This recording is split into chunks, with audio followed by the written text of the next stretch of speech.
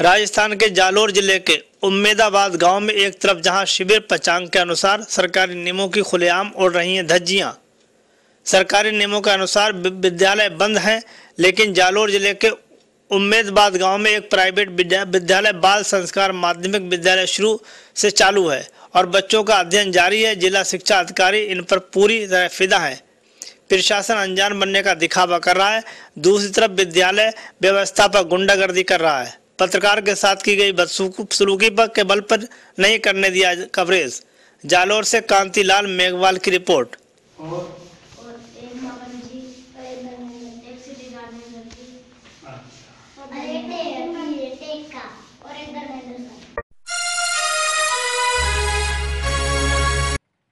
अगली खबर उत्तर प्रदेश के शामली ज़िले से।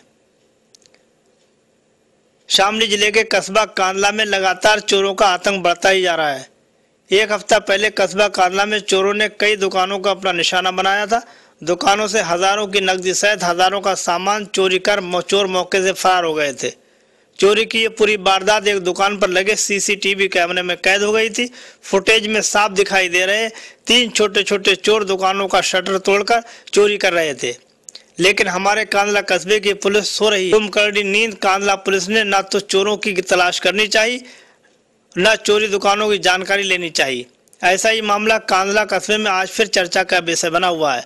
आज दिन निकलने ही कस्बा कांदला की दस दुकानों से लाखों की नकदी व लाखों का सामान लेकर चोर फरार हो गए।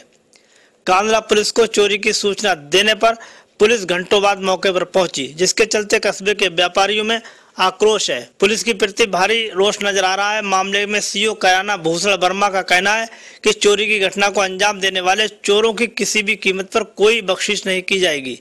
जिन दुकानों पर लोगों ने चोरों ने घटना को अंजाम दिया है उनकी वारदात एक दुकान पर लगे सीसीटीवी कैमरे में कैद हो गई है। जल्दी घटना का खुलासा कर लिया जाएगा।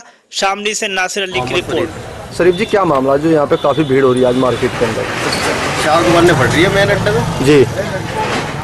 तो एक आपको दुकान मेरी फटी हुई तीन और हलवाई की फट आपको कितना नुकसान हुआ? सर आठ दस दुकानों में जो चोरी का मामला सामने आया पूरी घटना क्या है? हाँ ये आज बीती रात में कस्बा कांधला में मेन बाज़ार में लगभग आठ दुकानों में शटर तोड़कर कुछ अराजक तत्व अंदर घुसे हैं और इसमें से जो गल्ला होता दुकानदार का उसमें से कुछ चीज़ें और रुपया नकली हटाने की कोशिश की है। इसी क्रम में सबसे पहले